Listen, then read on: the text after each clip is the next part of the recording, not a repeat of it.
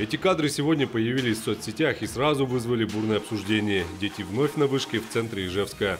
Видео изучили и полицейские. На мой взгляд, по крайней мере, есть две причины, почему они туда лезут. Первое – это получить острое ощущение. Они почему-то все забыли о том, что у нас есть школа юных летчиков, у нас есть секции мотоспорта.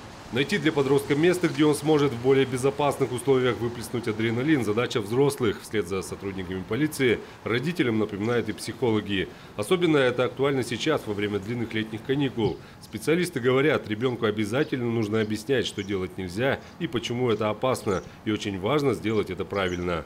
Очень важно говорить о своих чувствах, э, что мы не привыкли делать, говорить о том, что я очень переживаю за тебя, за твою жизнь, за то, как, э, ну, может быть, какой-то несчастный случай, я правда тебя очень люблю, и ты мне очень дорог. Мимо этих слов нельзя пройти, и подросток не может остаться равнодушным.